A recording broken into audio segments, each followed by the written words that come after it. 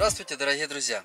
Сегодня я хочу вместе с вами привести немножко в порядок черенки нашего калибраха, которые были отчеренкованы от маточного растения некоторое время назад.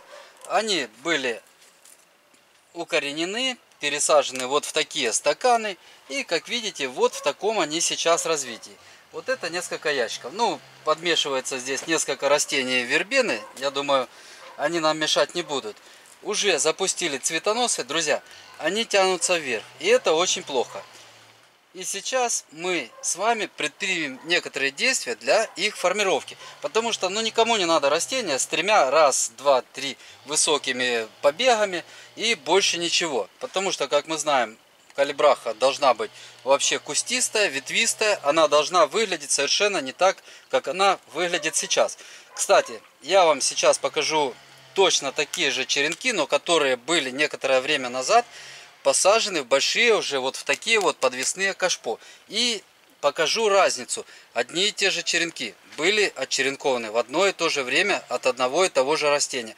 И сейчас разница. Вот так выглядят те же черенки, но в больших подвесных кашпо.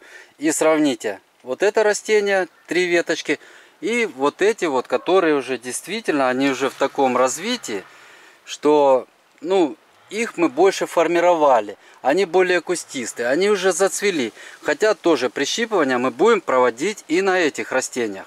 Формировка куста калибраха на самом деле операция не сложная, просто надо не бояться. Если кто-то, ну, не хочет травмировать растения или э, жалко ему делать прищипку, друзья, не бойтесь, все будет хорошо. Э, кстати, вот эти ампельные особенно растения, они прищипывание очень любят. Просто берем ножницы, обычные острые ножницы, и делаем вот такую вот обрезку верхушечек.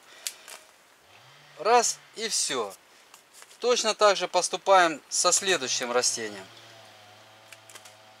Без всякого страха и сомнения это делаем. Все видимые верхушки, которые мы видим, и оставляем в таком состоянии.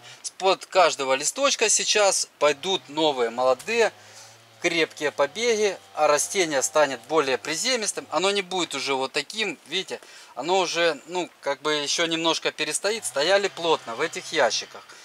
Но мы всегда знаем, как поправить. И они в конце концов, в результате наших действий, нашей помощи, они будут красивые, пышные и цвести действительно миллионом цветочков. Друзья, в следующем в одном из следующих своих видео я хочу вам рассказать разницу между калибрахо и сурфинией.